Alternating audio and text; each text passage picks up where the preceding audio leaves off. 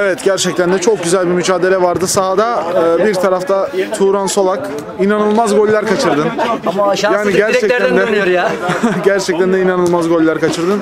Siz bir öne geçtiniz, bir geri düştünüz. Vallahi- Sonunda da beraber ayrıldınız. Yani maç iyi gitti.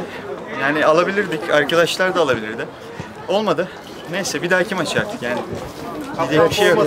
Arkadaşlar e, çok tebrik ederim arkadaşları. İlk maçlarıymış. Aynen.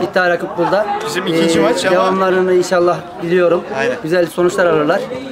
Tekrar yine karşılarınızı inşallah. Ben de çok tebrik ediyorum. Ee, güzel bir maç oldu. Bir tarafta özellikle ikinci yarı Osman'ın çok net kaçırdığı bir tane pozisyon vardı. Kalecinin üstüne doğru vurdu. Evet, evet. Bir tarafta da senin kaçırdığın pozisyon belki skoru bu şekilde berabere getirdi. durup vurmak zorundaydım. Başka yapacağım bir şey Tabii. yoktu. Mecburdan yapacak. Ya atacaklarımızın hepsini atsaydık zaten daha farklı skorlar olurdu ama olmuyor. Yani her vurduğunuz gol olmayabiliyor. Nasip berabere. Evet, kısmet birlikteymiş. Tebrik ederim arkadaşları. Ben de teşekkür ederim. Güzel. Ama biraz üzülmüş gibisin Serhat Kaptan bu arada.